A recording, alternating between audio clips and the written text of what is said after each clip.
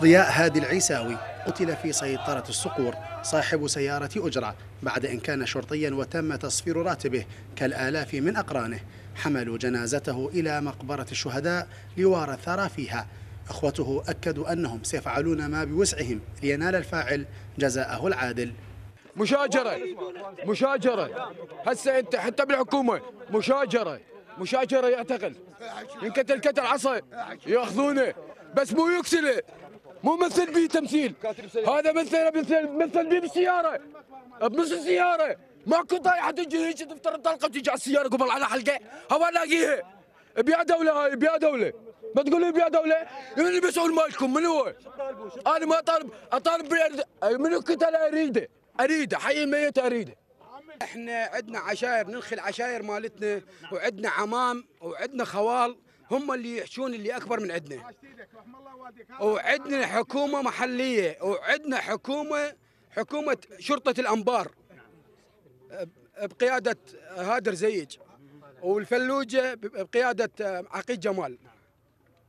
هو اللي ياخذ حقنا. هو إحنا نريد حقنا من عنده ومن العشائر. الحكومة المحلية حضرت التشييع وأكدت أنها لن تقف مكتوفة الأيدي وأن القضاء يأخذ مجراه في الحادثة.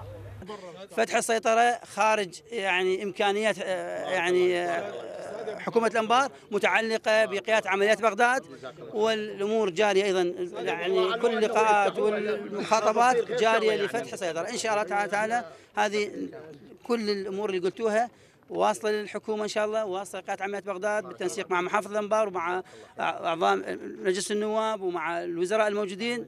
حقيقة يشتغلون على فتح السيطرة. لكنه يعني هي كل ما تجي لك إلى جهة تقول جهة يعني تحرزات أمنية تحرزات أمنية حنشوف إلى وين. وصلنا لحد أول بارحة وصلنا إلى أنه سونارات ما موجودة وبعض البنى التحتية اللي في السيطرة الآن المحافظة تبنت يعني تجهيز كل البنى التحتية للسيطرة ومن اليوم باشرت المحافظة بتجهيزها. وأيضا العمل جاري على توفير سونارات للسيطرة حتى يعني يعني تجهز بكل مستلزماتها. سيطرة الصقور. شهدت حالة قتل هي الأولى من نوعها منذ عودة العوائل للمناطق المستعادة. في وقت تزداد فيه المطالبات بإعادة فتح السيطرة ومنع حدوث انتهاكات لحقوق الإنسان فيها. حادثة القتل في سيطرة الصقور هي آخر ما كان يتوقعه أبناء الفلوجة والأنبار المارين بالسيطرة. ومطالبات كبيرة وشديدة من أبناء هذه المدينة بضرورة فتح السيطرة. من الفلوجة سلام خالد.